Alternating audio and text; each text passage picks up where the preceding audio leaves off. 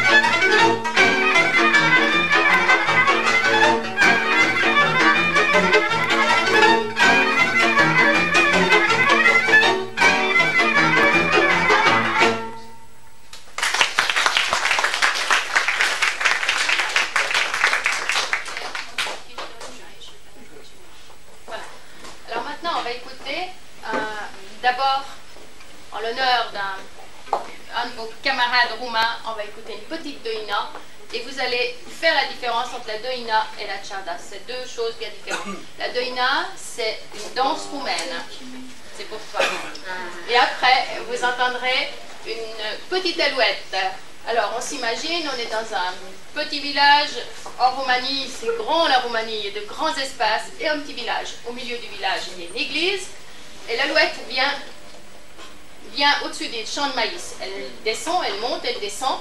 Elle a l'habitude de voler à la, verticale. Vous écouterez parce que la musique vous traduit vraiment le chant, d'abord le vol de l'alouette et ensuite Victor va faire chanter son violon comme l'alouette. C'est une alouette qui va chanter de son violon. Et vous entendrez, parce qu'il y a l'église au milieu du village, il y a des cloches qui vont sonner. Alors, on va d'abord écouter la doïna et après l'alouette. Thank you.